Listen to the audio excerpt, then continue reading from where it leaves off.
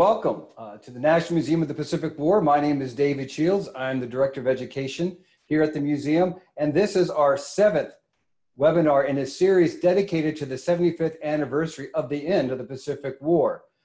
Each one of the topics of the previous webinars had been based on a pivotal decision or an important event which occurred in that last year. We take a different turn on this particular webinar as we look at those people who were not playing combat roles. But as we share the so many of the stories here at the National Museum of the Pacific War, we did, didn't win that war just by the combatants. We won that war by an entire national commitment, which included men, women, and children, people of all ages here at the home front. So today what we wanted to do, we wanted to focus on that group of people that sometimes were not under the great bright lights of fame uh, that we often see about in all the books that are written on this topic.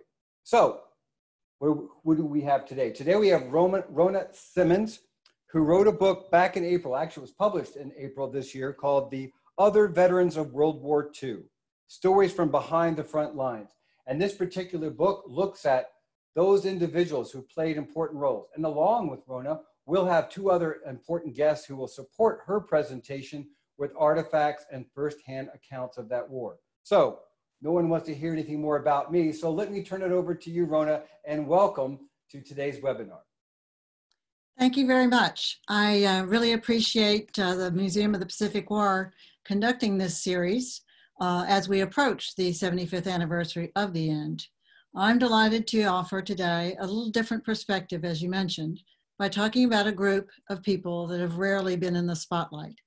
They're the non-combat veterans and a group I call the other veterans. These are 19 veterans that I interviewed uh, over the last several years. They are the men and women who serve behind the lines, some stateside, some feet from the action in Europe or the Pacific, and others halfway around the globe on the edge of the Gobi Desert. They're veterans who, to a person, would say they did nothing special. But by the time I'm through, I hope you'll see how special they actually are and why I chose to tell their story. Perhaps the best place to begin is with some iconic photos from World War II, photos that probably anyone interested in World War II is familiar with, whether it's the USS Arizona in flames after Pearl Harbor or the Bunker Hill in flames after a kamikaze attack near Okinawa. And more triumphant pictures like George MacArthur wading ashore in the Philippines in 1944, or Joe Rosenthal's iconic picture of the raising of the flag on Iwo Jima. But when you think about non-combat veterans, the others, you probably are would be hard pressed to find photos of them. They're fewer and far between, or certainly a lot less well known. Um, and why is that, I asked a couple years ago. Is it because you think they're boring or maybe their roles were unimportant? After all, they were mechanics, chaplains, nurses, supply officers, and some might say or use the pejorative terms grease monkeys, pencil pushers, uh, or um, desk jockeys. And I thought that was a very false image, and I set out to prove otherwise. Um, so in, 19, in 2017, I wanted to find these veterans, but I thought they would be rather hard to find. After all, um, most of the stories we know and the pictures, as we've said, are, are from those who were in combat. In, um, I looked at the numbers to help. Uh, at the top left of your screen, you'll see the 1940 US population was 133 million, about half of what we are today. And it was relatively evenly split between men and women. So we had 66 million men in the country. When the first peacetime draft uh, was instituted in October 1940, those between 21 and 35 uh, were required to register. And, and, by the end of the war, all those between 18 and 65 were required to register. About 75% qualified out of that, of the 50 million who registered. And uh, what, what transpired is actually 16 million in the lower left of your screen ended up serving. So about 30% of the total of the 50 million who registered. 10 million of those were drafted and 6 million were vol volunteers. Now, um, the women were not eligible to be drafted, nor could they actually volunteer to serve, except in the Army and uh, Navy Nurse Corps up until about 1942. So you can see the representation of the women, the 400,000 women who made up part of the military. On the bottom left, the little pink legs on the icon. And of those 16 million who served over the course of the war, it turns out that 10 million came through combat and 6 million were non-combat. And there are, there's a variation on these numbers depending on your source, but I've seen numbers as high as one to one or even slightly more non-combat to combat. So my fears of not being able to find these uh, people to talk to were unfounded. The next thing I wanted to know before I got into uh, talking to the veterans was understanding how they were assigned to their positions. Uh, the military at the end of 1940 and really all the way through 1941, despite the draft, hardly moved the needle. Um, we, we were still at only 500,000 people in the military until Pearl Harbor. And on that day, or just after, uh, men rushed the doors of the recruitment centers. Everyone wanted to volunteer and to join to serve their country. Um, to, to be sure, some volunteered because they realized that if they volunteered, they would have their choice of being in the Navy or Army Air Corps. Um, and they could volunteer for those positions and have their choice as opposed to being assigned to the Army. And they were, as you might expect, very nervous about the Army. Um, they had heard the stories of their fathers, their uncles, cousins who had served in World War I in the trenches. And if they could volunteer, they hoped to avoid that experience. Many of them had dreams of being a pilot. You can hardly talk to a veteran who doesn't admit that what he really wanted to do was fly. Flying was still in its infancy. These men had grown up adoring Charles Lindbergh and so wanting to be part of the, the a pilot in, in the military. It was still glamorous, it was exciting, and yes, a little bit dangerous. But shortly after standing in line, they learned one thing that was you're in the army now and the army knows best the army had 550 positions to fill uh, army alone and similar amounts in the navy and uh, and uh, uh, army air corps so they needed to be able to divert men because they knew they were trying to volunteer for the navy and army air corps but they needed to fill positions the idea was by directing people to positions that cl- most closely mirrored their civilian occupations, they would be able to keep the training time down in the Army and the morale up. So bricklayers, steel workers were directed to the Corps of Engineer, longshoremen to the Quartermaster Corps, police and detectives to a natural the military police. But there were still many, many more positions to fill. Artists, bakers, my favorite saddle and harness makers because yes, at the beginning of World War II, we were still uh, using horsemen and cavalry. And pigeoneers, we were still sending some messages by pigeon. So um, I had other questions, and when I began to interview veterans, they helped me answer those. One of them was to try to explain why so many people rushed to serve. And Eleanor Milliken Fry, at the top of your screen, was the first lieutenant in the US Navy. She was the first in the first class of Navy waves. And fine upbringing in South Georgia and probably the most unlikely candidate to serve, but she said, I can't really explain to anyone living today why I joined. It was a different time back then, and people had a different mindset. Everyone just did anything they could to support their country. I also wondered whether the non combat veterans um, were looked down upon or heard negative comments about them not being um, doing what they could for this country. And I found that also not to be true. Um, Randy Bostwick, a captain in the U.S. Army Medical Corps, uh, assured me that he never heard a disparaging remark about anyone being in a non combat position. And then I asked sort of the opposite question well, what about you as soldiers? Were you feeling like you weren't doing all that you could? And um, Howard King, who was a, a, messman in Pensacola, Florida, and later a steward in the Philippines, told me that at one point he wanted to volunteer to be as part of the submarine corps. And he went to his boss asking for a transfer. And his boss said, thought about it and said, well, Howard, um, sort of echoing a statement by attributed to Napoleon Bonaparte, you know, an army crawls on its belly. He said, what's more important than food?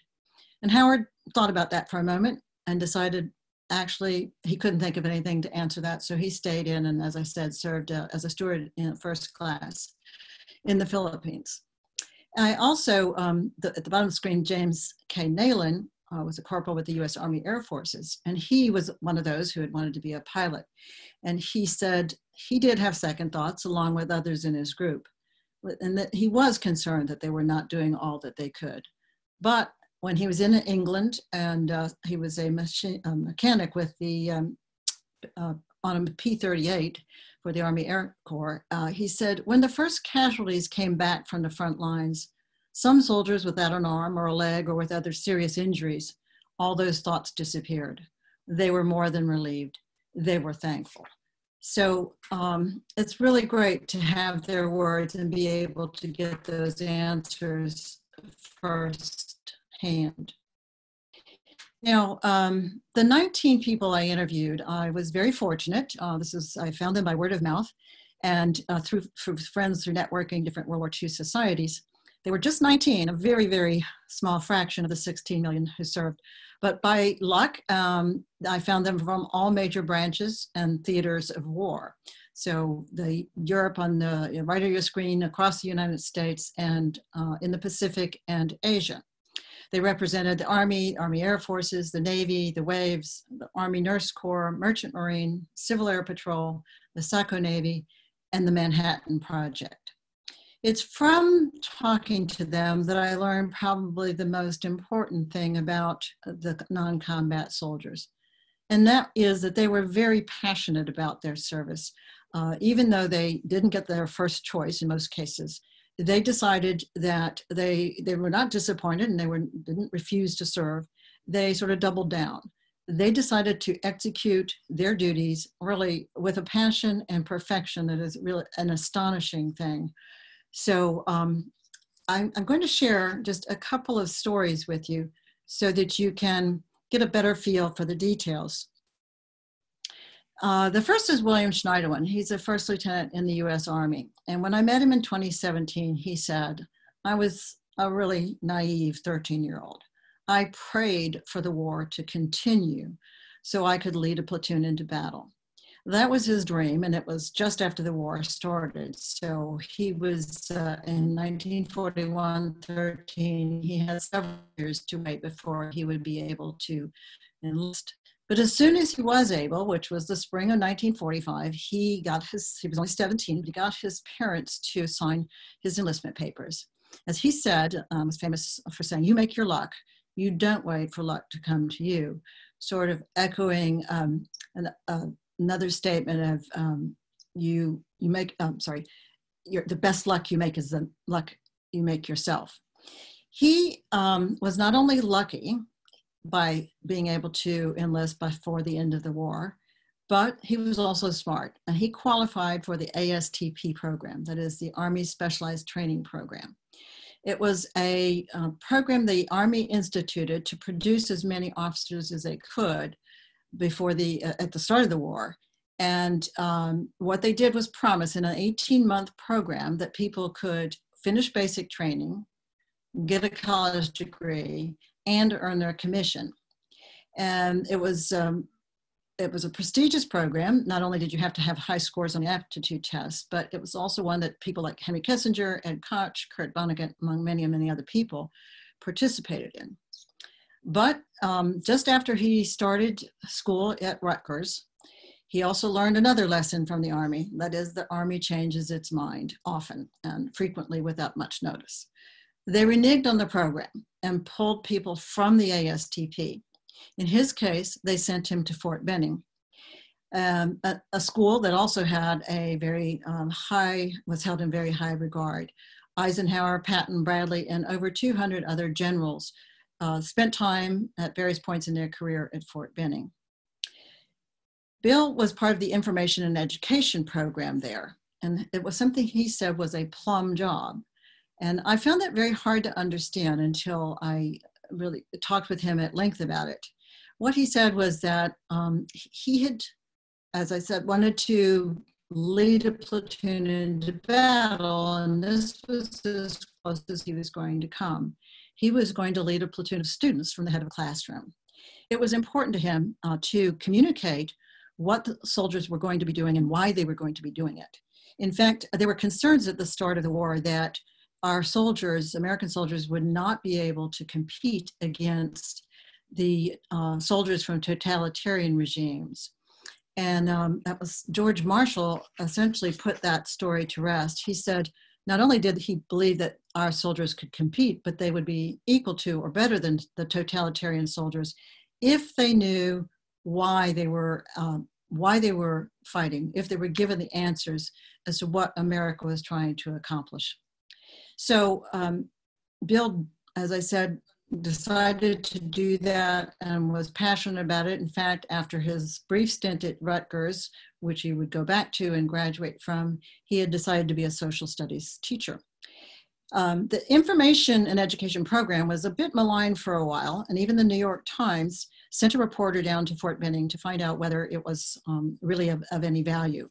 And the reporter ended up attending one of Bill's classes and discovered and quoted him later in the article in the Times that, in fact, it was very worthwhile. The soldiers supported it because one man, the right man, the reporter said, could make a difference.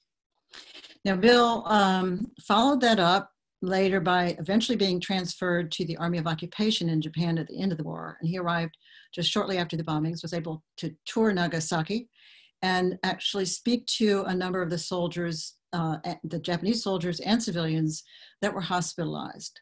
Consummate professional that he was, and someone well schooled in the social studies of the time, he talked to them, never apologizing, but helping to explain why we were there and why we had done what, we had done with the bomb. The second story I want to share is a very different one. Uh, it is of Jack Coyle, a radio man first class with the Saco Navy. He was in the Navy, but he said, I was a sailor in the Navy. I walked, rode horses, drove jeeps, rode sampans, flew in planes, but I never served on a ship. And he's pictured the top here holding a very young child who is his son, Jack Coyle, whom you'll be meeting in just a few minutes. But Jack um, was very highly educated in his group in the Navy. Uh, he had completed law degree before he enlisted, but he was, had been assigned to a desk job and he was very bored. And so he did something that we all know is not something you do. He raised his hand for a top secret assignment. They sent him to China, of all places, with the SACO Navy, SACO being the Sino American Cooperative Organization, and maybe more popularly known as the Rice Paddy Navy. It still was uh, a top secret and hardly unknown um, back in, in the days of the war, and still very um, uh, few people know about SACO Navy today. But 3,000 Americans were in the group and they operated behind the lines in China they were deep into China as Japan had um, control of the Chinese ports and many of the routes in and out of China. And we were sort of blind to what was going on there. And we sent these people in to gather intelligence, to look at troop movements by the Japanese, and to intercept weather forecasts. Uh, both of these items were then relayed to the Pacific Fleet. We, we probably can't fathom a day uh, today why weather forecasts were important, but uh, back then, if the fleet were operating uh, and planning an operation in the in the Pacific and didn't know whether the next day was going to have good weather or bad weather, these forecasts from Japan uh, helped immensely. It was a, a relatively dangerous job. There was, in fact, a bounty on the heads of all 3,000 Americans. The Chinese knew, this, the Japanese knew these men were in China, but they took extraordinary means. They never wore their uniforms. They didn't salute. They ate, lived with their hosts, and tried to blend in as, as much as possible. And as I said, um, he finished his duty, came home, and there is one thing, um, you can see a picture of a number of, of uh, letters on the screen. Jack's uh, wife saved um, over 200 letters from her husband. And so I was able to read all of these with Jack Coyle Jr.'s uh, permission. They were very interesting, and maybe because he had played a little role in intelligence, he and his wife had agreed to a code because it was prohibited for soldiers to disclose in it to their family, uh, to friends that they wrote, uh, where they were serving, uh, what they were doing. And so before he left for the Pacific, and as he was leaving California, he sent letters, and he and his wife had somehow agreed on when she would know that he was sending a coded message. In certain letters, she circled the first letter of each word in a sentence, and in one, she, he spelled out in Perth, Australia, and in a letter a few weeks later, it said in Calcutta. So she was able to follow him through um, his journeys and in, into China, where he eventually served. Now, um, I hope that gives you just a taste. Uh, these are just two of the 19, and the 19, as I said, are just 19 of 6 million. But they filled out many, many roles. And uh, I hope this gives you a better appreciation for some of the things they did. I love to find the quote from George Patton, someone we look at as um, a hero the, and a strategist in combat fighting, but he too appreciated these people's roles. He said, all of the real heroes are not storybook combat fighters. Every single man in his army plays a vital role. So with that, I'm going to say it's been my honor and privilege to share these stories uh, uh, of those who are still remaining living that I've interviewed. We've become fast friends. Um, but many, many stories remain to be told. There are today less than 400,000 of the 16 million who served in World War II that, who are living with us.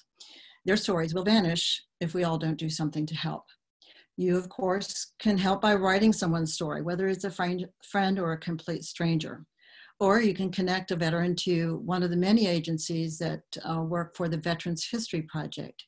And the Museum of the Pacific War has its own unit called the Nimitz Education and Research Center, which Chris McDougall is going to tell you more about. Thank you.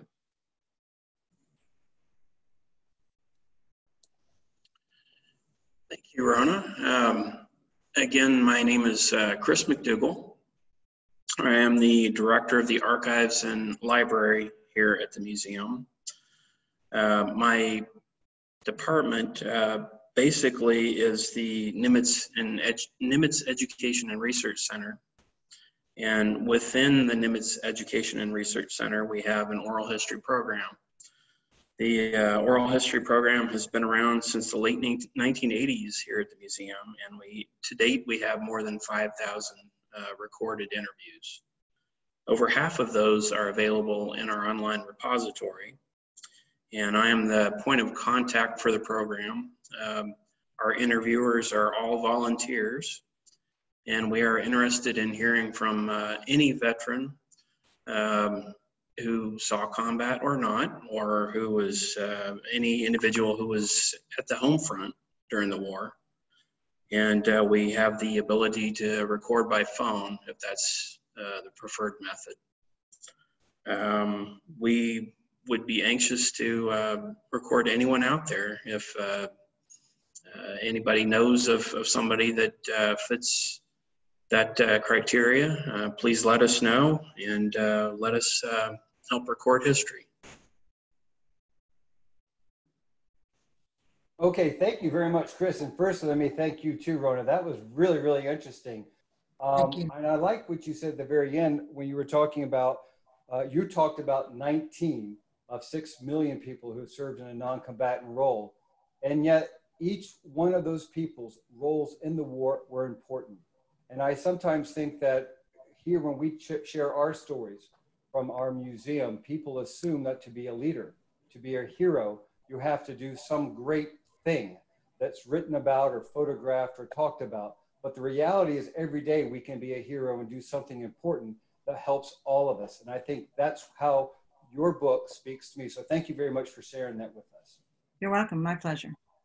Okay, well, Chris, uh, we're going to come back to you. Uh, you certainly have some things to share with us, which uh, I think is very, very interesting. But firstly, let's go to Jack Coyle.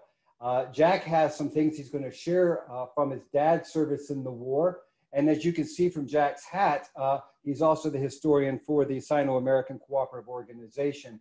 And Jack, before I turn it over to you, I've got to tell you, I was joking with some of the people here in our little studio uh, I can still see the resemblance of you in your little picture with your dad. I can still see it. Well, thank you. Yes, sir, sir. So go ahead. We're very interested in seeing some of the things you can share with us today. Okay. Um, I'm Jackson Coyle's my official name, but I didn't like it, so I went by Jack. And it's interesting that dad's five seven and I'm six three. So when they call, is Jack there? Which one? Tall Jack. Okay. Anyway, as as it was said, uh, my dad was in SACO, the Sino-American Cooperative Organization, and how he got there, as they as Rona said, he he volunteered for it after he got his law degree. He wanted to get uh, an ensign uh, commission, and his law professors and everything sent everything into the Navy. And he waited six months and didn't hear anything, so that's when he uh, went in as a enlisted man.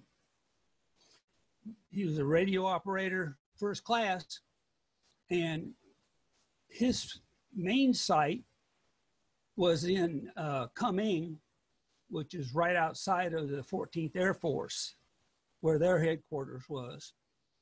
And the radio station there had so much power, it could go directly to Washington, D.C., which is none of the other radio stations could do that.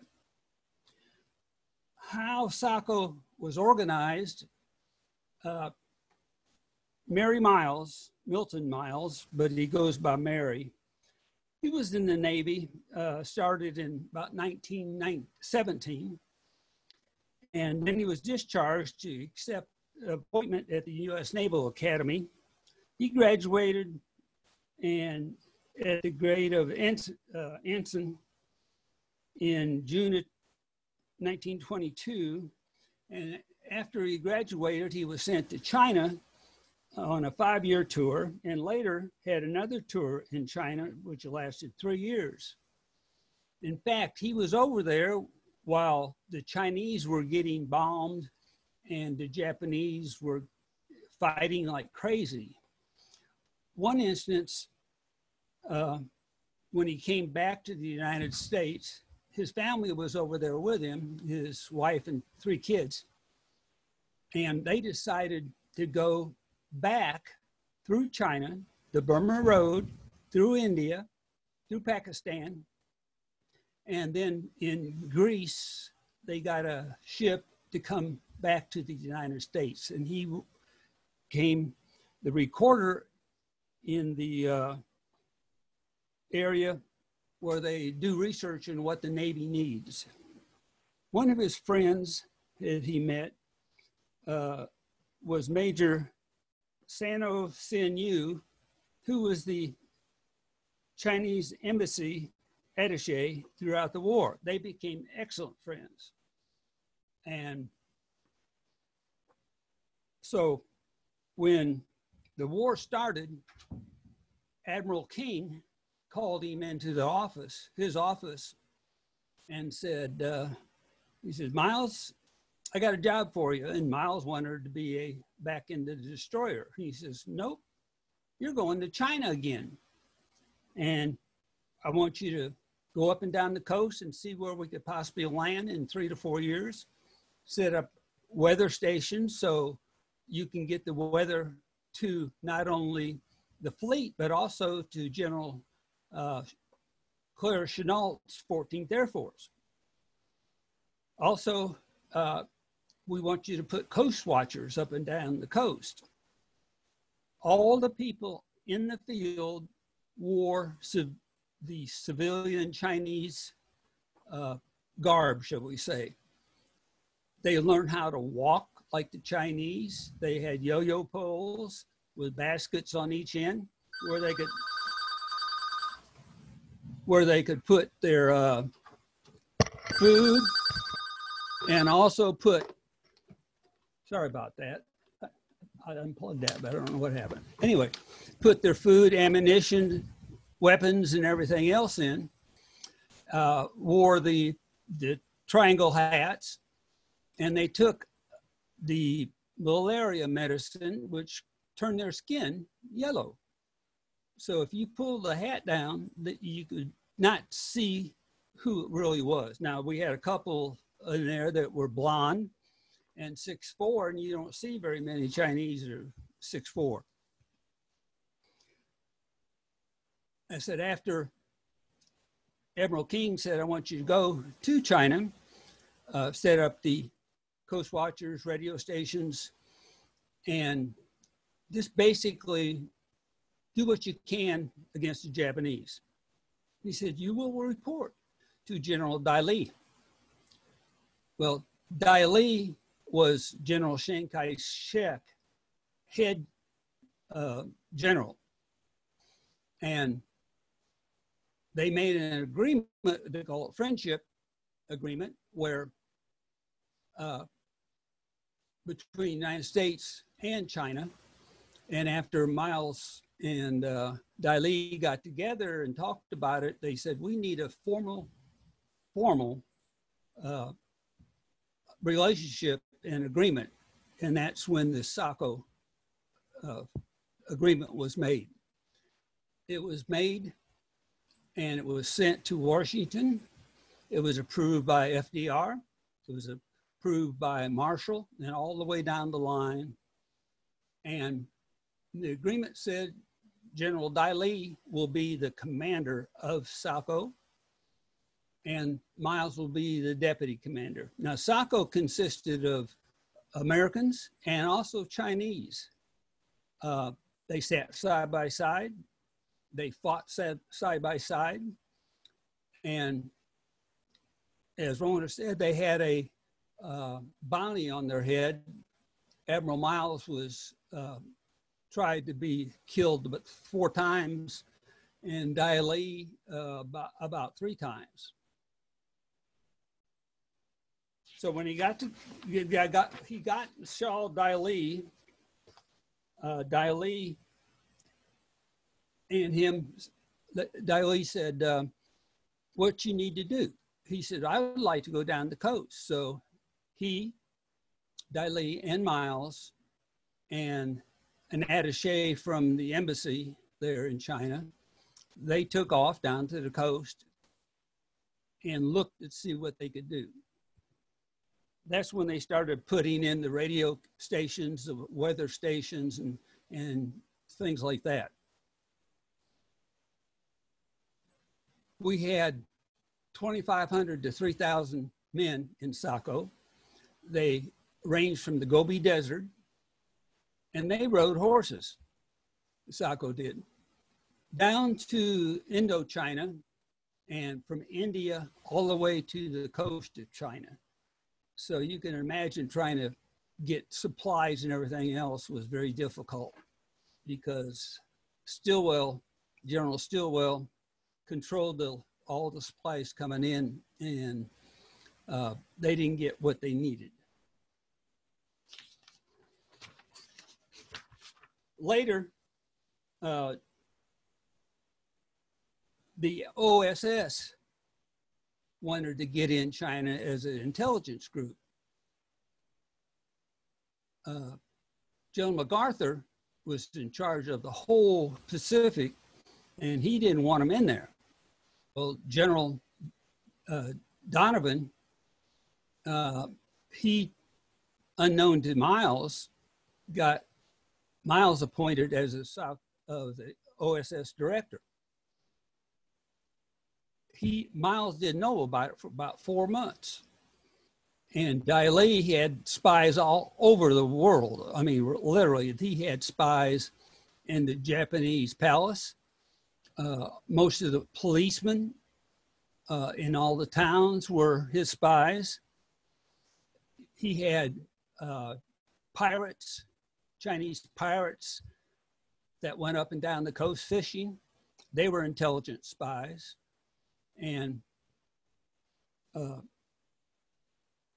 so between the two of them, they knew what was happening in China. In fact, one time when Miles uh, was in, in uh, India, uh, he got off the train and all of a sudden somebody hit him from the back and he turned around and slugged the gentleman. Uh, he, the gentleman cut his tongue off and stabbed Miles. Luckily, it was just a, a wound, not severe. Well, he picked up the tongue. When he got back, he told Dai Li what happened. And Dai Li, uh, within uh, about two weeks, found the person. All of his uh, intelligence people found he was a uh, Korean sympathizer with the Japanese. It was a volunteer unit. And you had to have at least two different specialties to get in that. The some of them later became what they call scouts and raiders. They went to Fort, uh, gee, it's down in Florida. Anyway, uh, and and that down there, uh, they taught uh, how to sneak in with with their men into the beach and, and how to blow up ships and stuff like that. And the scouts and raiders, most of them ended up in, in India and couldn't get flights over before the war ended. Now, there's some things I want to show you. One thing, I don't know if you ever heard of a blood chit. A blood chit was something that looks like this. And you can see what it basically says in Chinese that I'm an American and I'm, a, I'm here to help China to win the war. Please get me back to friendly forces and you will receive an award. That one I showed you was one of our SACO men's uh, blood chit. This one here is a blood chit. Basically says the same thing, but if you notice down at the bottom here, it's got a number on it. All the men that had blood chits had a special number. The 14th Air Force also had these. Uh, SACO had 150 men assigned to General Chennault. Uh, Chennault's men were flying over the hump, and it was very difficult to get over the hump into Kunming. And they had to fly between the mountains. So SACO set up an oxygen plant in India, and that way they'd fill their tanks up, and so they could fly over the mountains instead of through them. Later, uh, they put a liquid oxygen uh, tanks uh, and filled the tanks from liquid oxygen, flew those over the hump so they would have oxygen coming back.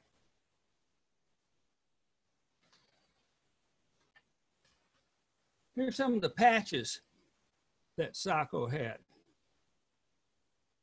This patch here, I hope you can see it pretty well. That was the patch, one of the patches my dad had on one of his, on his uniforms. It shows the Chinese flag and American flag. Interesting, it's got the Chinese flag on the left side.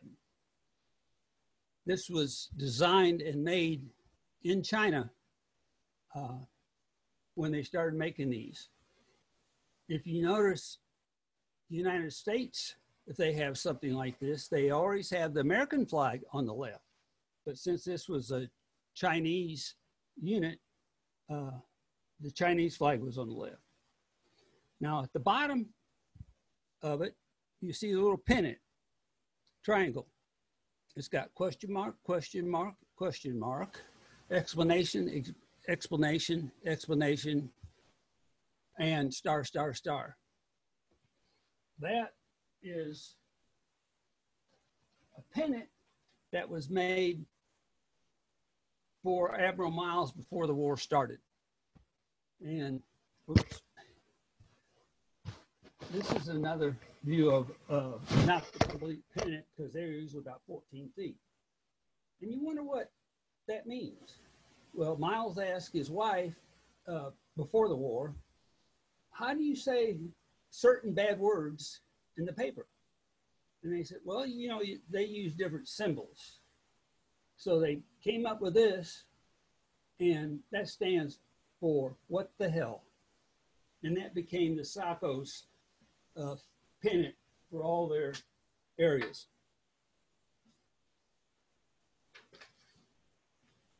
All the pilots and a lot of the SACO men had maps of China. This is one, they're made out of silk, so you don't have to worry about them. Uh, they last forever. And I got a complete set of China and also of uh, uh, Indochina. Those maps weren't the best in the world, but that's about all they had. One of the awards that SACO men received was what they call the SACO medal. Here it is. That medal is the, the most rare World War II medal there is. And they have different symbols up here. You can see the clasping hands to each other and the United States and the Chinese flag, ROC flag. If you can find these, they'll go from up to $2,000. That's how rare they are.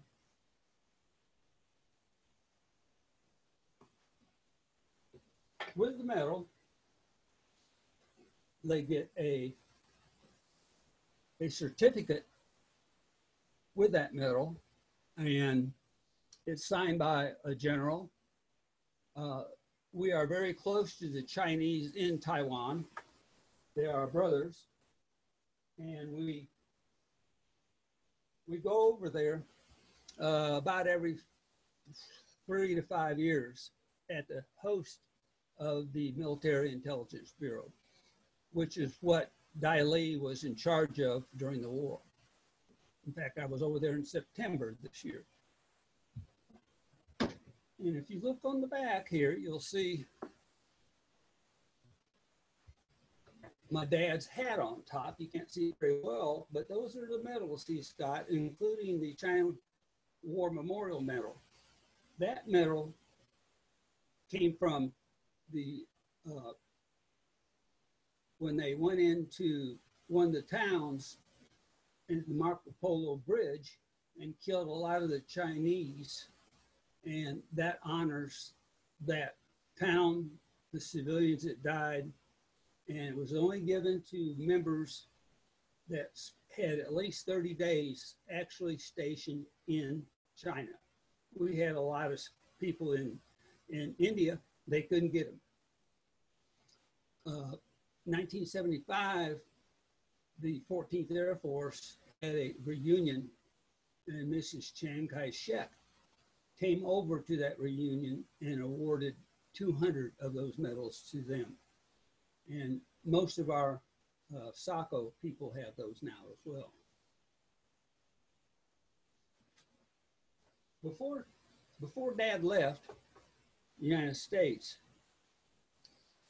he went to San Diego, and the USO had a place over there that you could take, and they could make a, uh, a vinyl record and send it back home. And this is the one that my dad made and uh, sent it to, to my mom.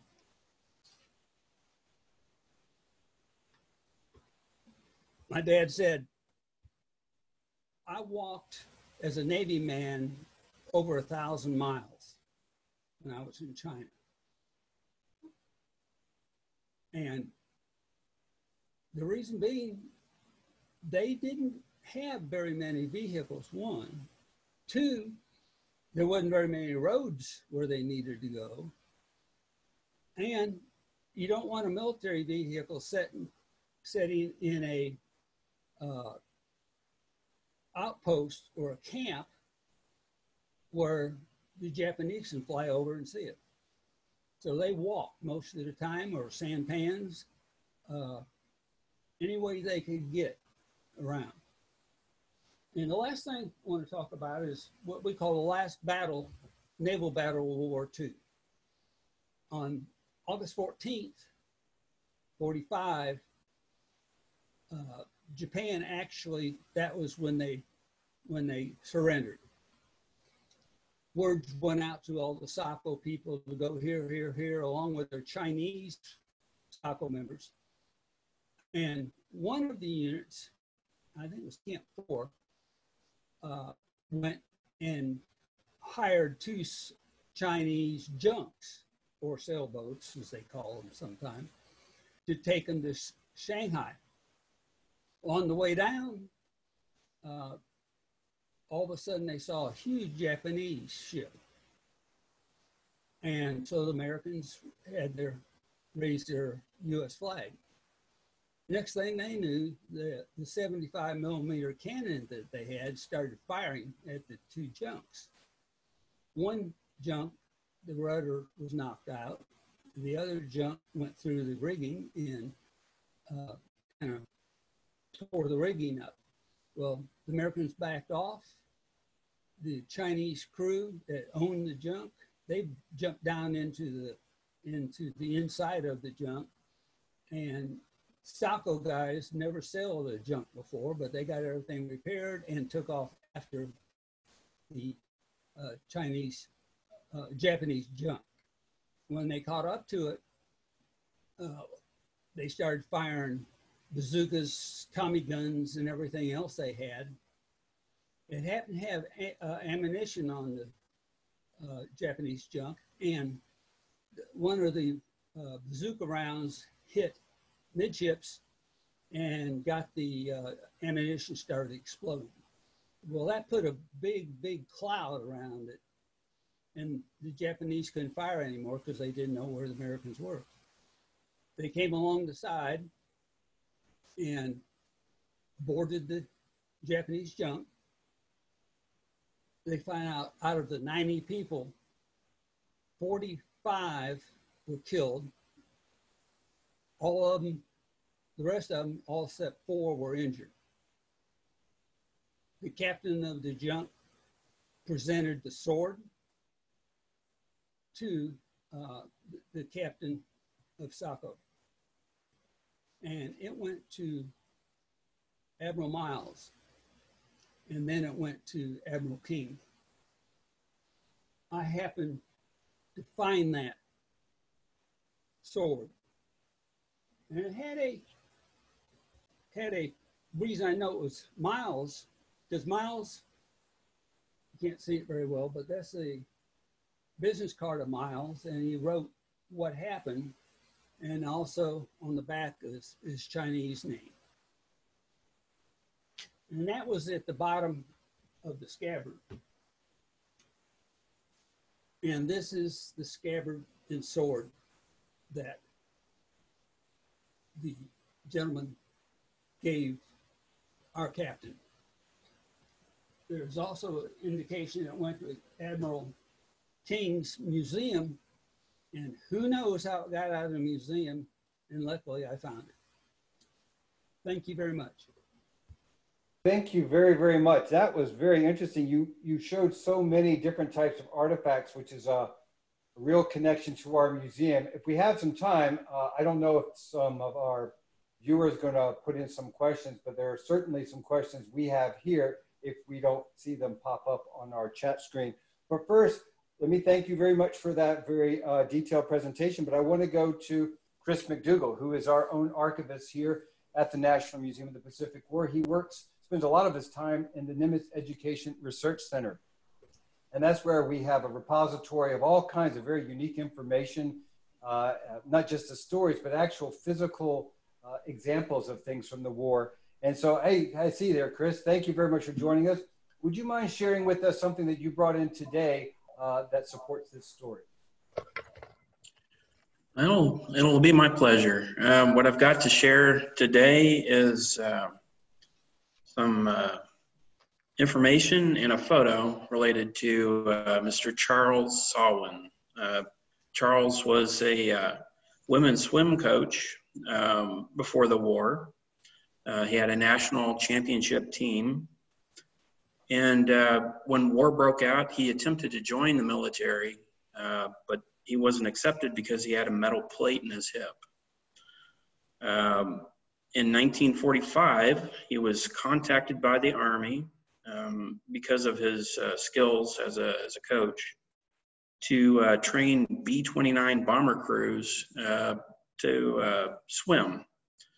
At that time, um, the uh, Army Air Force was ramping up its bombing effort against Japan, and um, they were bringing in more and more B 29s to make those attacks. And uh, because of the vastness of the Pacific Ocean, if uh, anything uh, happened to the aircraft, it was hit by an aircraft fire or uh, attacked by fighters, or there was a mechanical failure, uh, chances are that those aircraft would have to uh, ditch in the ocean. So they needed to learn how to swim.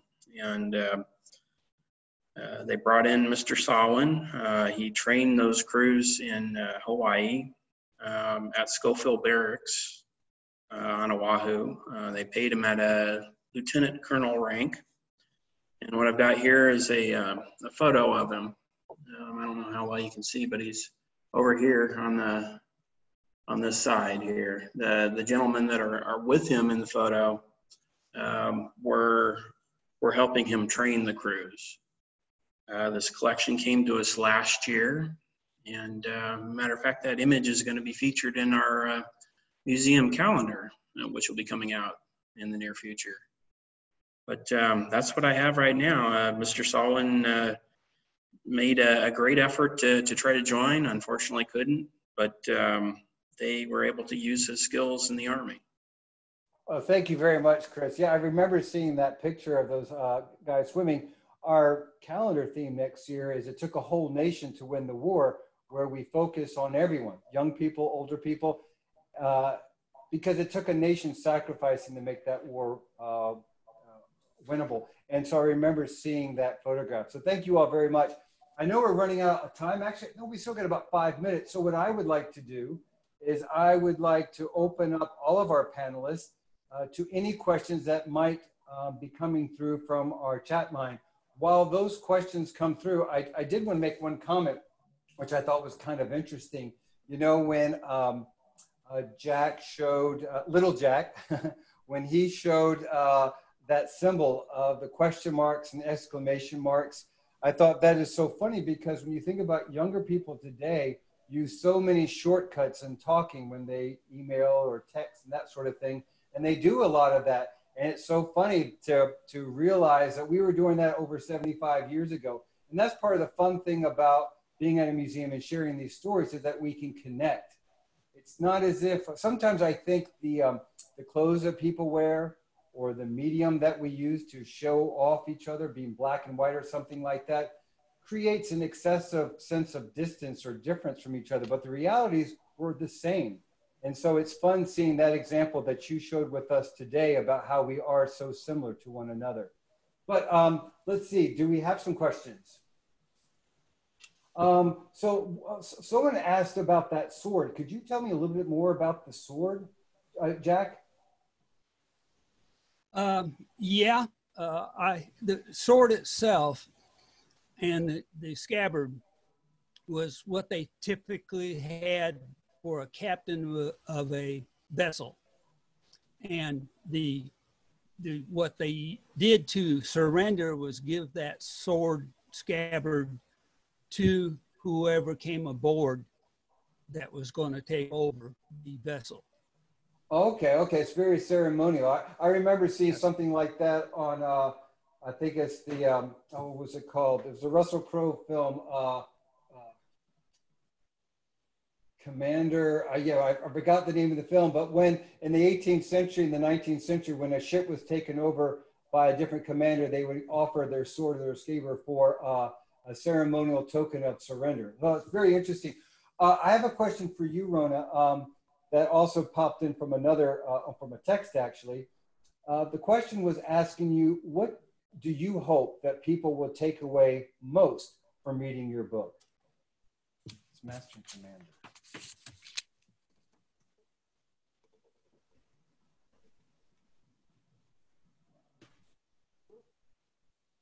Rona, I think you're on mute. There we go. Is that better? I'm on now. Um, well, I think the thing is to recognize that um, it, it's not just those in combat who um, were needed to wage the war, to win the war. They relied so much on the people behind them. And despite what you might think, they were very grateful for them, thankful that they were there. They could not have done what they did without them, whether it was the truck drivers that brought fuel, the messmen that brought food, um, the uh, uh, one of one of the women in the book is from the Manhattan Project. So um, everyone contributed. And I think I go back to Eleanor Milliken's words. Uh, it was a different time and place, but everyone did what they could for their country. And I hope people realize that. And as I try to do, uh, if I see a veteran, I stop them and I ask, "Tell me what you did," and you would you would you'll see how delighted they are to share their stories. So. Um, that's a wonderful sentiment, and that's something that I think that we recognize as well. Speaking of that continuation of remembering the people from the Second World War, our next webinar will be on the atomic bomb, and that will come in August. So please uh, stay tuned as we provide more information on that upcoming webinar.